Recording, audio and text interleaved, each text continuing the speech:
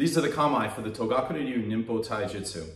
Now, keeping your inner intention clear to your opponent, also observing proper ma'ai, specific to whatever that technique or condition may be, is what's most important when training kamae.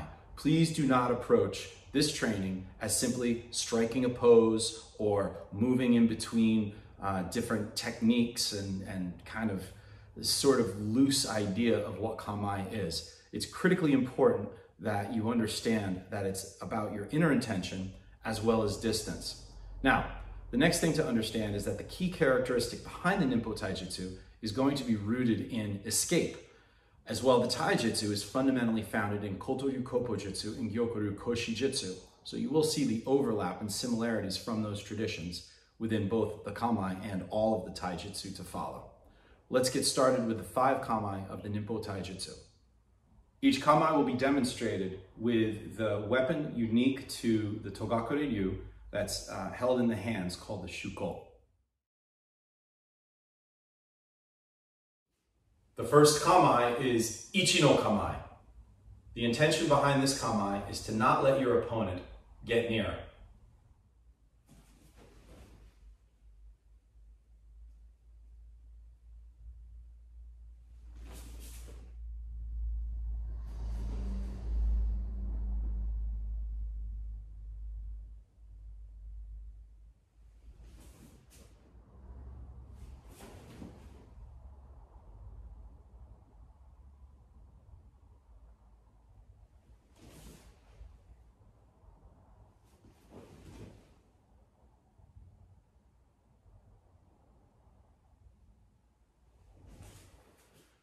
With this kamae, we'll be stepping back with the right foot, keeping the left side leading. Now, of course, you'll train this kamae on each side. The important point is that as I step back, my hands go immediately to the line of my intention. My left hand stays directed at the height of one's heart, and about 90% of my weight is distributed back very, very deep onto the rear leg.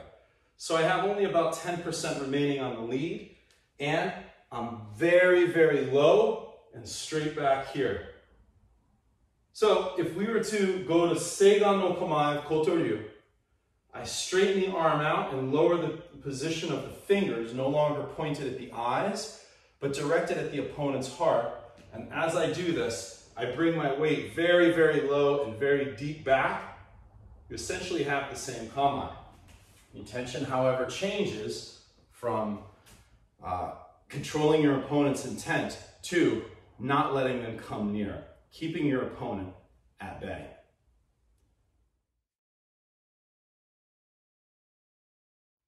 The next kamae is Hira Ichimonji no kamae.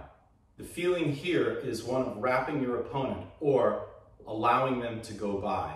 Now this is very different than we see the Hira Ichimonji of other ryuha, such as Kukishinryu, Daken Taijutsu, we have a feeling of protecting someone important behind us. So the intention and the body language has to be completely different. In Kotoryu, Koppojutsu, we see Hira Ichimonji no Kamae having some similarity, wrapping your opponent, uh, but also keeping your perceptions wide. Here, the feeling is wrapping your opponent, but letting their attack or their energy pass by you, not letting them grab you, not letting them secure you.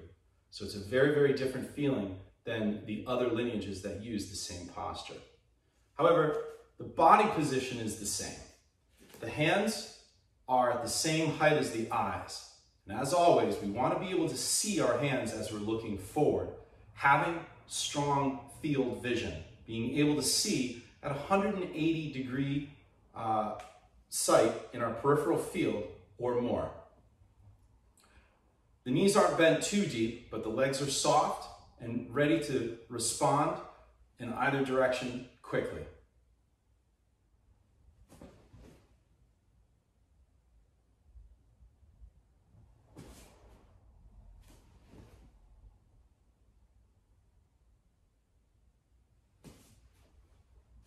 And this is Hira Ichimonji no Kamae.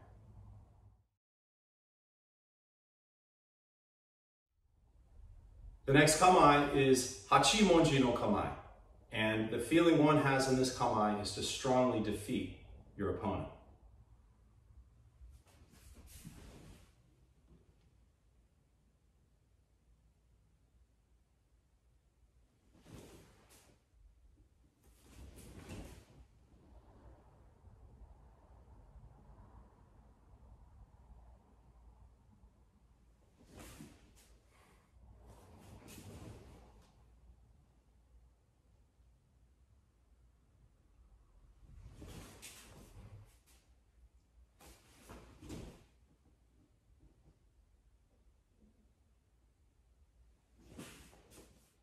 With this kamae, I'll be stepping back, putting 60% of my weight into the rear leg, 40% onto the lead.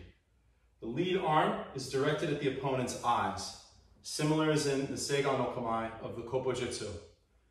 But the right hand, in this case, comes up directly over the forehead with the fingers closed. If I didn't have shuko on, it would be an a boshiken in this manner. Since I'm wearing shuko, I can't even make a conventional fist with this on my hands. So it's boshiken. No different, it's the same. And the feeling here is to strongly defeat the opponent. You may witness a similarity here with the kodachi or the tanto, where you're in this jodan no kamae. And again, the feeling is to come down and cut your opponent with a one powerful and single cut to be able to cleave whatever's uh, in front of you with a single downward cut. There's a very similar feeling here with Hachimonji no Kamae. The feeling is to strongly defeat your opponent. This is Hachimonji no Kamae.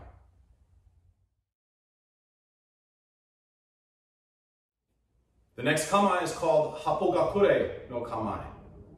The feeling and intention behind this kamae is to be able to scatter metsubushi, or blinding powder, in all directions.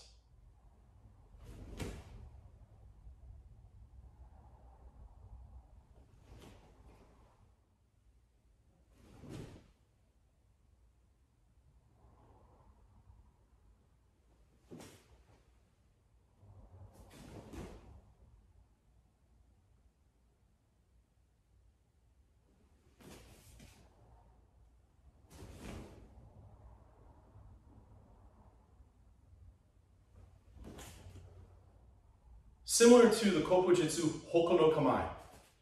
My feet are at a 90 degree angle with one another and the hands are held up over the head. But with this kamae, my hands are closed and they're closed softly as though I'm holding an egg in each hand. So if I squeeze too tight, obviously I'll break the egg and if I keep my hands too loose, then I'll drop the egg. So just soft. And they're just natural. They're not facing outward per se, they're not concealing inward, just natural like this. And from here, I want to have the feeling of being able to scatter in any direction uh, powder.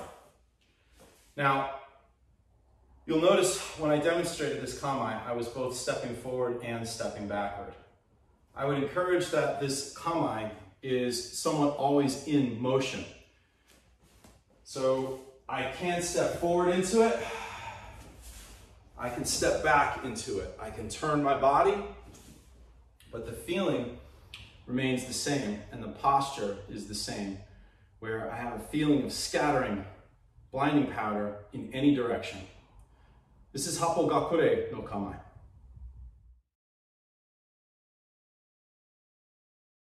This brings us to the final kamae called Tonso no Kamae. And the feeling one should have in this kamae is to escape behind and hide, or to move away backward uh, and conceal oneself.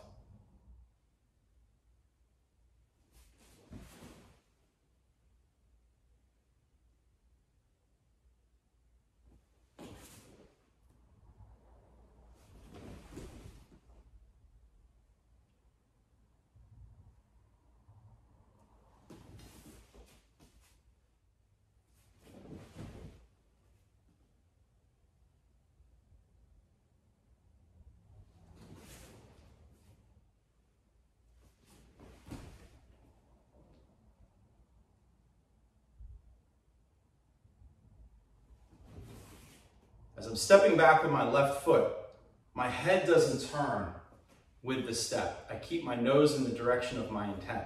However, my right hand becomes concealed inside my jacket in this manner. I'm dropping back, possibly with the feeling of deploying a weapon or grabbing something to throw or distract someone who's trying to pursue me. And the feeling is to escape backward in this direction. So as you can see, as I transition back, the hand follows, but my head stays in this direction.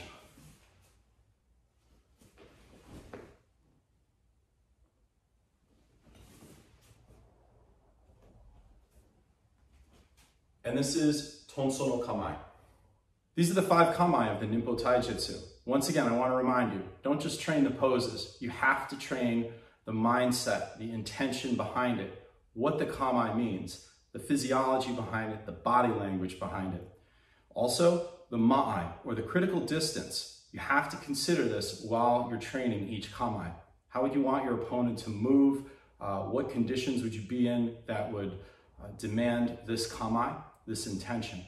This is extremely important because if you train kamae without that in place and you just train postures, you're just kind of doing sort of a low level exercise and there's not a whole lot of value to it. So I really want to encourage you to make sure that specifically within this kamae training you do that, but you also make sure that regardless of the ryuha you're studying, that this be in place with your kamae training. Okay, let's move forward into the ukemigata.